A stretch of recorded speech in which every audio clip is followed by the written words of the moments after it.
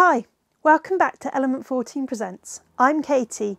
I've got these lights, uh, they are LED studio lights that I use whilst recording these videos.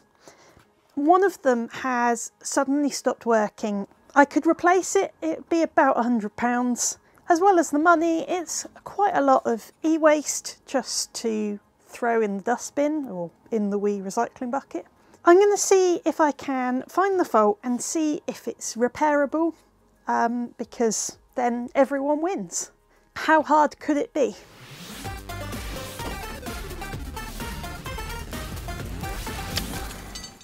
So my first stage of fault finding, I'm just going to have a look at it. Is there anything obvious that might have happened to it? Now, it's not, it still pretty much looks as it came out of the packet. There's no signs it's had an impact or a bump or has been damaged in any way. My next stage would be um, to see if it's something obvious. So it has a power brick. Now, when I plug this in and switch it to the adapter, there should be a power LED that comes on to show it's having power, whether or not the actual output's turned on and that LED is off. The common thing would just be to jump and look, start opening it up and look. But first I'm going to just check that the power supply is working. Now one way would be to get a multimeter and to check the voltages. But the quickest way is I've got another one of these lights that is identical.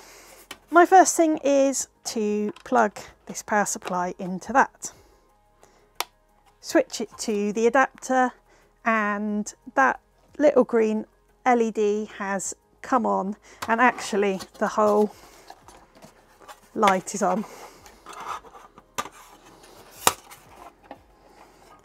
Ta-da! I'm happy with the power supply, that's all working. Now, there was no physical damage, so my next stage is I'm going to have to get inside here. The best thing is looking at it they are all screws, which makes life much simpler. Nothing obvious on here, so I'm going to have a look at this circuit and work out what's happening where and just make myself a little diagram.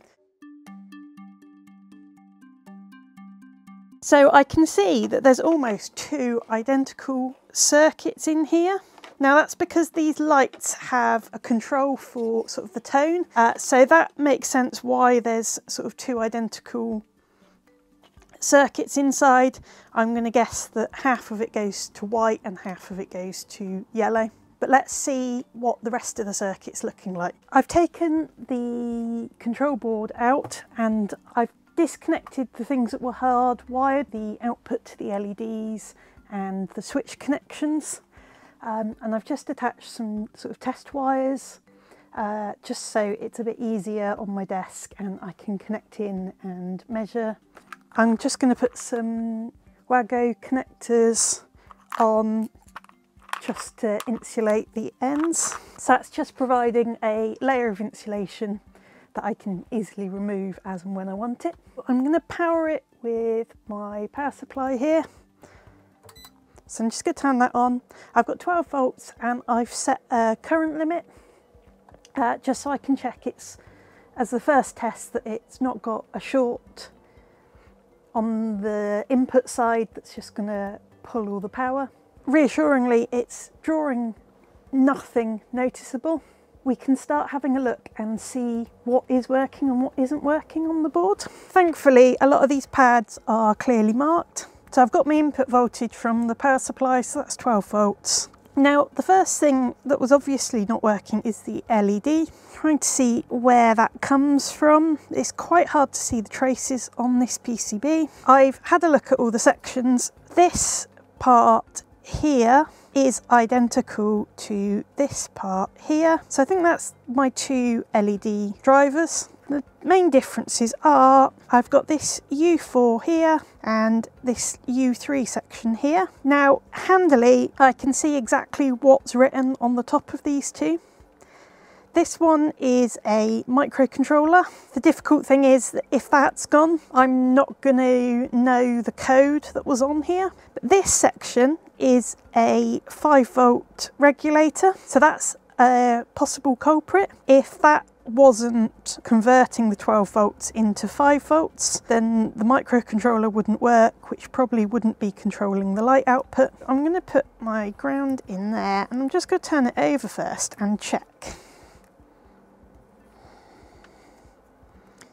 There's 12 volts going to the power to both colours of LEDs. That's good. I mean, that was quite likely.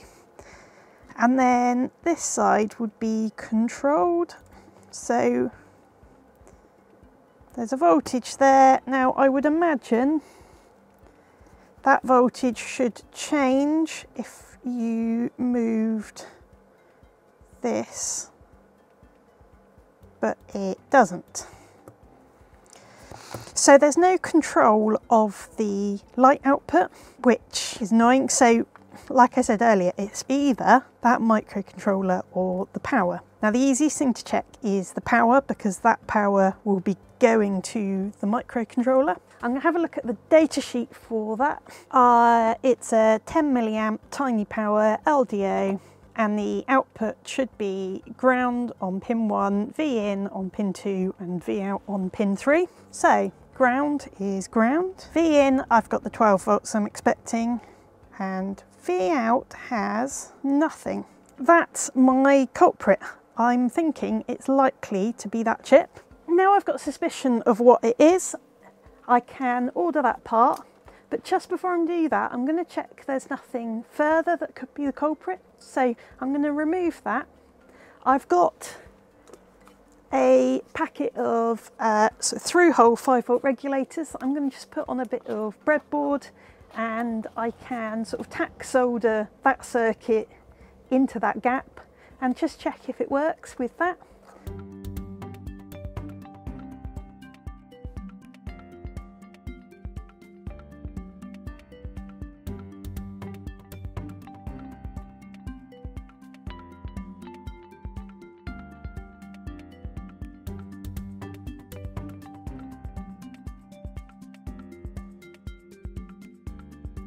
When I power on the power supply, the LED indicator is still not going on and it's drawing quite a lot of current for the fact there's no LEDs on to illuminate. It's at one and a half amps, so there's still something not quite right here. Let's take another look.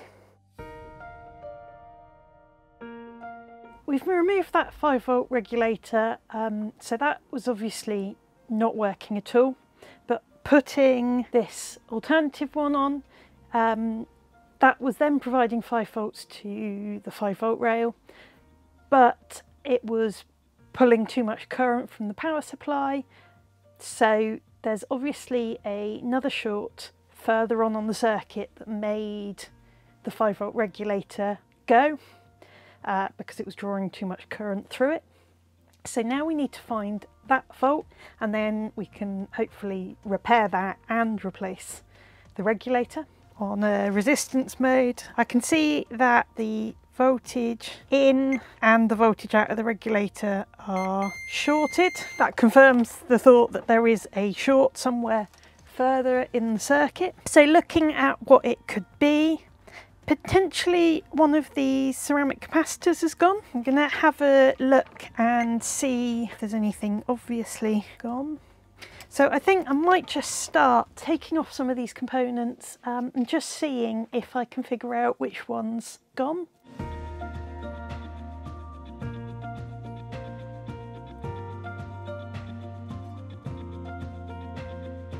As you've just seen, I've been removing the ceramic capacitors one at a time and trying to inject the 5 volts in to see if it will still current limit.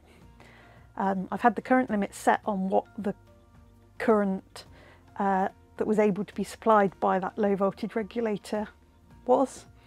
Um, but every one that I thought was likely um, has still current limited, so the short is still somewhere. It's not a capacitor, well, it's unlikely to be a capacitor that has failed and shorted. Now I've got to start thinking about other things it could be. I can't see any damage to the PCB, so I don't think it's a uh, like physical short on the PCB. With this um, multimeter, another way of fault finding would be to put it on resistance mode and I should be able to see the resistance between the 5 volt and ground. So actually on a ground pad I'm got a resistance of sort of 0.2, that seems likely. And on the 5 volt I've got a resistance of 3. So we know that they are connected together somewhere in this circuit and they shouldn't be. So that little ceramic capacitor next to it is 2.9 uh, and I mean the other side is ground so it's going to be that 0.2. So now we can go along and see, so still 2.9 there, figure out which side of certain components, 3, 3.1, 3.5 so that's not actually on the 5 volt rail. That must be the ground side of this decoupling capacitor. What I think would be the decoupling capacitor for the microcontroller is 2 ohms but other places where I'm testing on that 5 volt rail I'm at 3 ohms. So that's quite a drop 30% We've already moved that, so we know that's not the fault. Makes me suspicious that it might be that microcontroller. I've removed the microcontroller. Now, the really disappointing thing about finding this fault is I sort of got all excited having found the problem. I looked up that microcontroller. I can buy a new one. It's a matter of pence to buy a new one and pop it on there.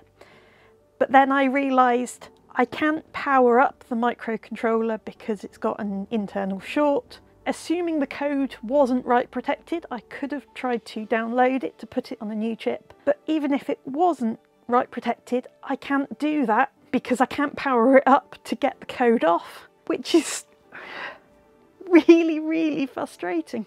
It's really good to find a fault and be able to fix it, um, but this shows that sometimes you can find the fault and you can't fix it uh, and that's the way things go. However, I could do a completely fresh project for either writing the code to put on a blank microcontroller on this PCB or I, I've got all the hardware for the light, I've got the actual metalwork and the LED array. Um, that's all working fine uh, and that's quite a complicated thing to make mechanically um, in a home workshop. I could just design my own LED driver board, head over to the Element 14 community and let me know what you think. So how hard can it be? Quite easy to find, quite hard to fix in this instance. So that's all for now. I'll see you next time. Bye.